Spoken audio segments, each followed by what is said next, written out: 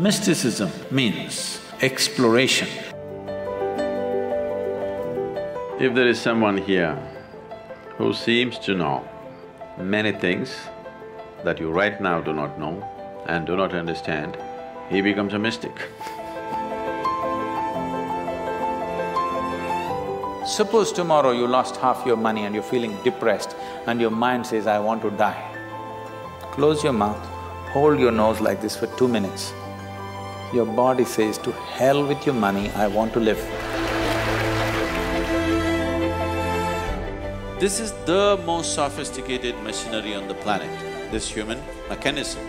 If this mechanism is made such a way that half the time it's in maintenance, you cannot call it the most sophisticated.